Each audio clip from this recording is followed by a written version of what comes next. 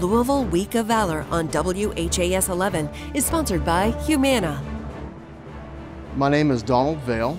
I served nine years in the United States Army, and I have been deployed to Bosnia, Kosovo, Afghanistan, and Iraq.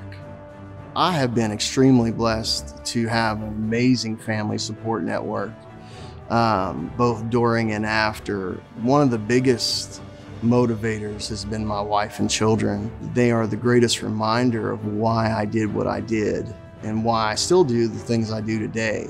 So my current service that I'm a part of is an honor to be part of is Reboot Combat Recovery.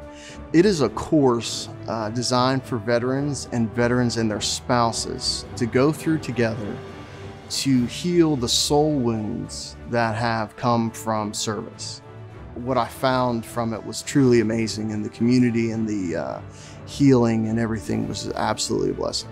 For those veterans who haven't yet figured out what they need or how, or afraid to go out and ask for help, or have tried other programs and failed, the end is not the end. You need to keep moving and push forward until you find what works for you because you are worth it. Your family is worth it.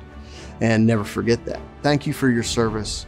Thank you for everything you have done for this country. Louisville Week of Valor, November 11th at 9 a.m. on Great Day Live.